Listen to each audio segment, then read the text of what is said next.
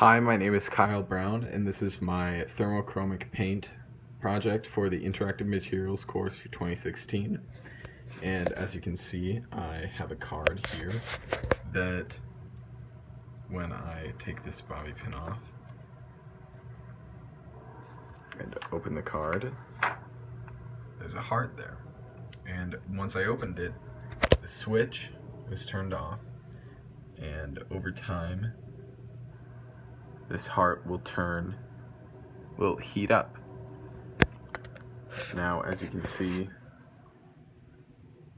the code here is making the serial print high, and when I close it,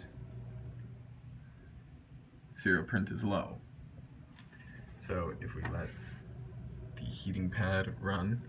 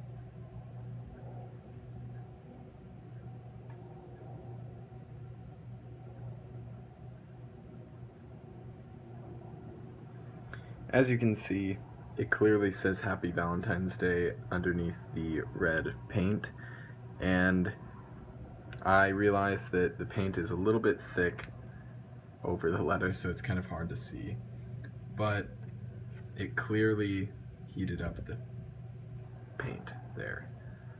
So what I have is the heating pad underneath, the wires are connected to the heating pad here, which connect over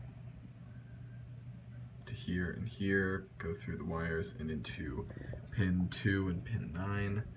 The switch is connected here and on the back they're connected there. Thank you for watching and this has been my thermochromic project.